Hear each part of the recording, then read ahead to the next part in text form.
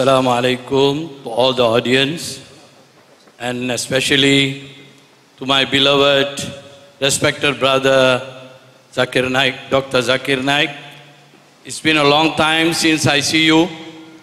Last time I used to see you in Penang. Now you are no more coming to Penang. You know, there are some problems. Okay. But I am from Penang. I come all the way to see you personally with my whole family. They want to see you live. MashaAllah, always watching in TV. Now they want to see you live. Okay, Alhamdulillah.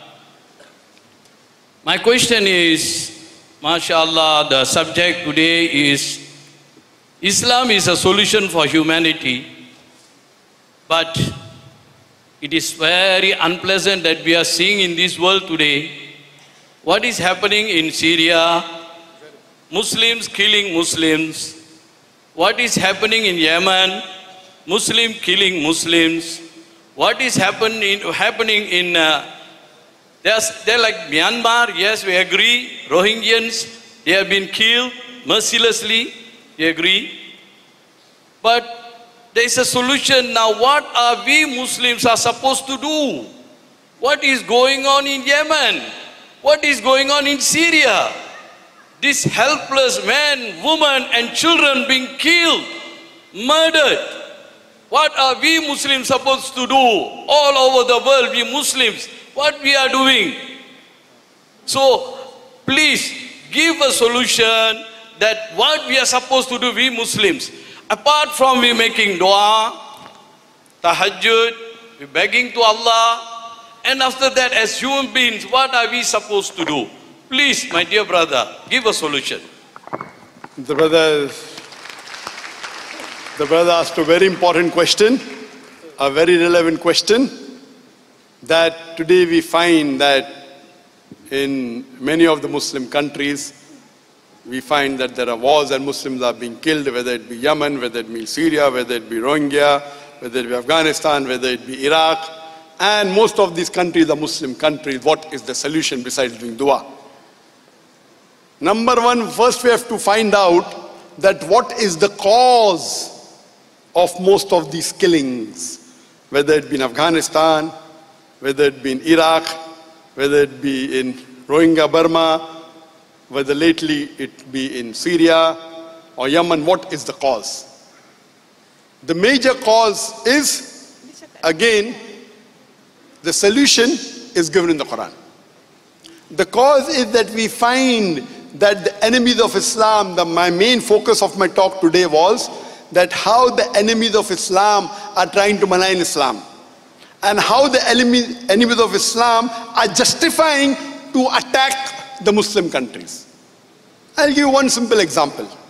You know that more than a decade earlier, USA said that Iraq has the weapons of mass destruction. And CIA, which is supposed to be one of the most best organization of intelligence, they said that we have got proof that Iraq has got weapons of mass destruction. Not that I'm a fan of Saddam Hussein. I know that he may not be a very good practicing Muslim. But what right does USA have to interfere with Iraq?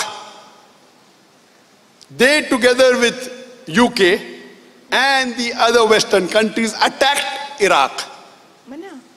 Saying that they had weapons of mass destruction. Last year, according to the report by Human Rights Organization, they said it was a fabricated report. So much so that Tony Blair, the previous Prime Minister of UK, came out in public when he was no longer the Prime Minister. He said, It is the biggest mistake of my life. I'm sorry. You know how many people were killed? More than half a million Iraqis and Muslims were killed because of this fabricated report. And what is the reply? Sorry. What are we Muslims doing?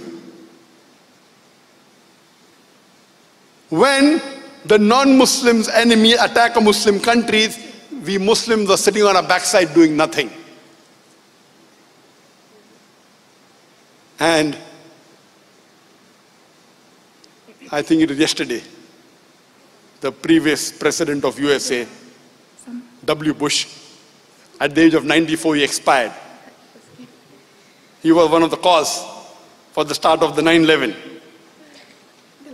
Then followed by attack on Iraq by the next presidents of USA.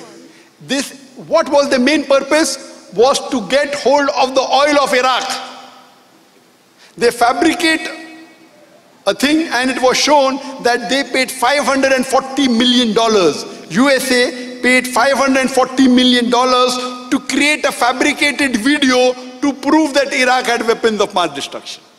540 million dollars to make a video. We Muslims, what is the fault of the Muslims? We are not united. In Afghanistan, when Afghanistan had a war with Russia, Soviet Union, which was then which was enemy of USA, the USA takes help of the Muslim country along with Afghanistan to take out Russia. Hillary Clinton said in a video that they spend $8 billion in supporting the Afghanistan and creating Taliban to fight the Russian. They create and then say that they are terrorists. Who is the bigger terrorist? The person who does the act or one who creates? The person who makes the person a terrorist. Who's the bigger terrorist?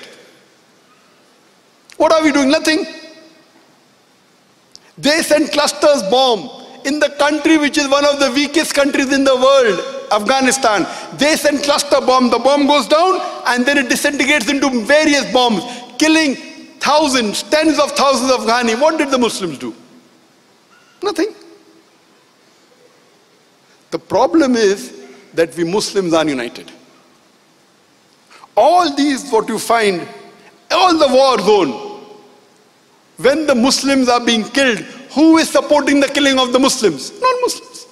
Who's the one who engineered most of the places? You'll find it's a fabricated things created by the news of Islam to attack the Muslim country, whether it be for oil, whether it be for money, whether it be for power, whether to attack or destroy the enemies. So previously the biggest enemy of the USA before 9-11 was communism, was Russia. So they joined hands with the Muslim countries to take out Russia.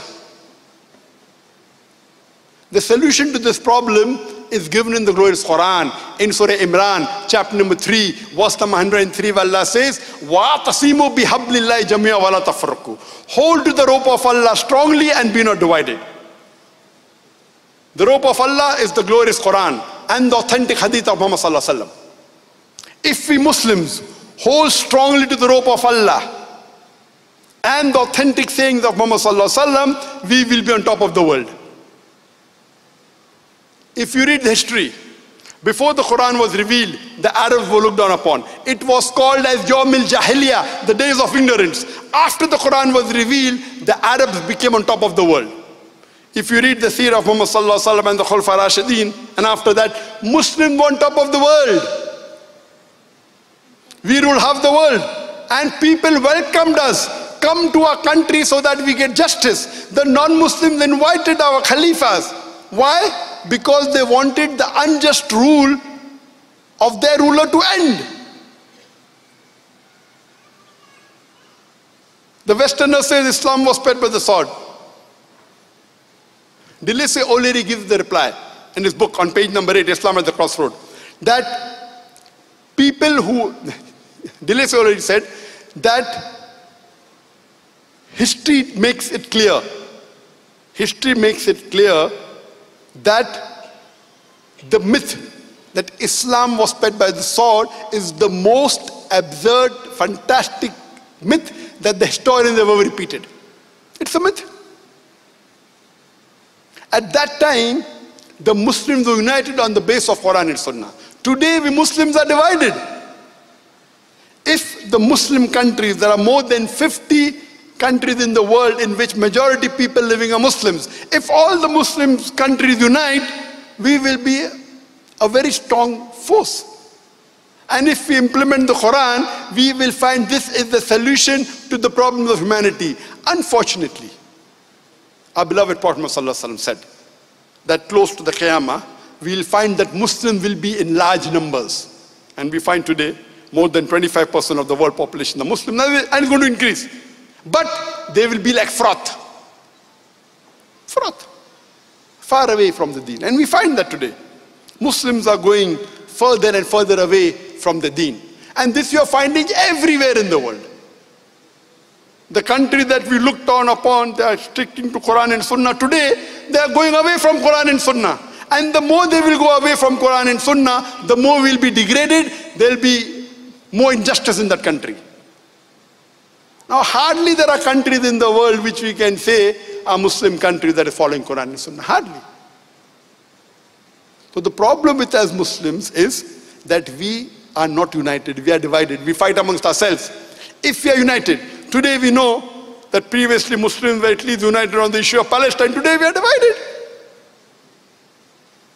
There are Muslim countries which are saying no problem that Israel wants to take over the country. What's happened to the Muslim Ummah? The problem is today we Muslims fear more the human beings in this world than fear Allah subhanahu wa ta'ala. Yes, everyone will be judged according to the capacity you have.